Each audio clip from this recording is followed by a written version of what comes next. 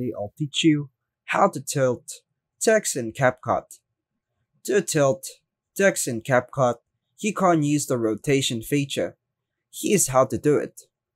Open the CapCut app on your Android device, tap New Project, and import the video to which you want to add tilted text.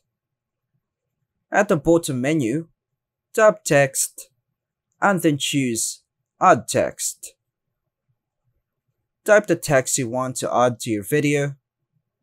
You can change the font, color, size, and style of the text as needed.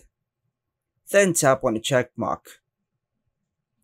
Tap on the text box in the video preview area to highlight it. With the text box selected, use two fingers to rotate the text directly on the preview screen.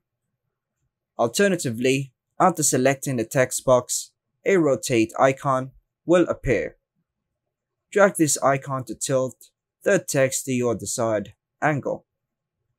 After tilting, you can drag the text box to reposition it anywhere on the video. Use the corners of the text box to resize the text if needed. Then play the video to see how the tilted text looks.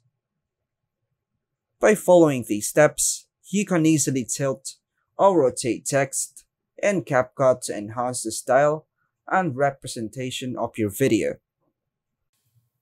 And that's all for now folks. Thanks for watching.